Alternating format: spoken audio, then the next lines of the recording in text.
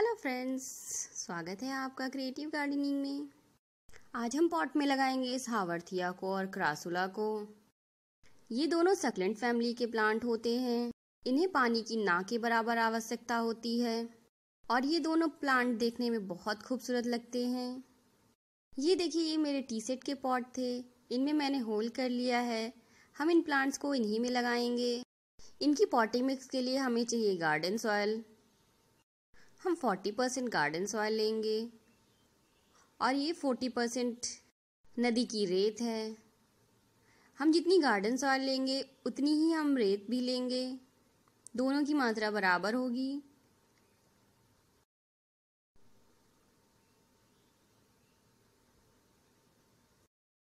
इसके बाद हम 10 परसेंट वर्मी कंपोस्ट लेंगे।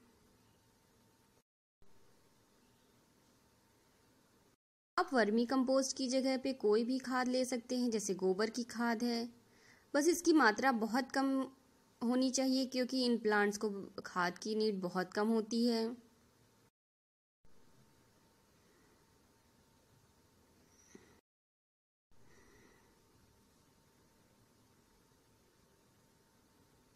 और हम अब लेंगे टेन परसेंट कोकोपीट।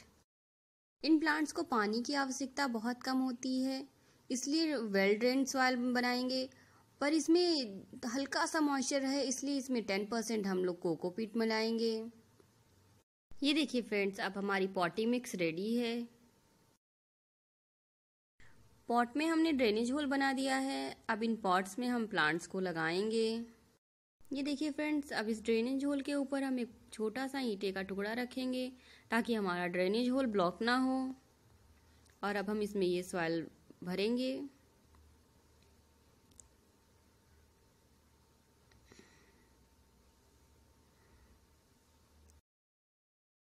पॉट को हम थोड़ा खाली रखेंगे क्योंकि प्लांट के साथ भी कुछ मिट्टी है इसमें।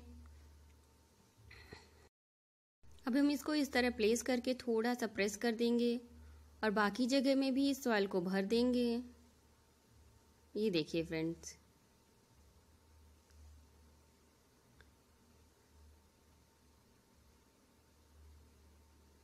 ये अब हमारा प्लांट रेडी है। चलिए अब लगाते हैं हम क्रासुला को। इस पॉट में भी हम वैसे ही ईटे का टुकड़ा रख लेंगे और इस पॉटी मिक्स को इसमें भर देंगे। इसके बाद हम उंगली से एक गड्ढा करके उसमें इस प्लांट को लगा देंगे। इसको हमने कटिंग से तैयार किया है। फ्रेंड्स अब इसमें हम ऊपर तक इस पॉटी मिक्स को भर देंगे। भर के अच्छे से प्रेस कर देंगे।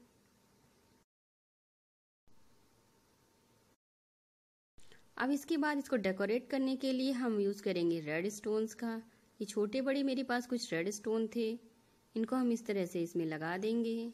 और ये देखिए हमारा पॉट तैयार हो गया है। चलिए अब चेक करते हैं कि इसकी सॉइल वेल ड्रेन है कि नहीं। हम इसमें पानी देंगे। पानी देने के बाद देखिए फ्रेंड्स इस पॉट में पानी तुरंत ही नीचे से निकलने लगा है। मतलब कि हमारी सॉइल वेल ड्रेन है। और चलिए अब चेक करते हैं हावर्थिया में।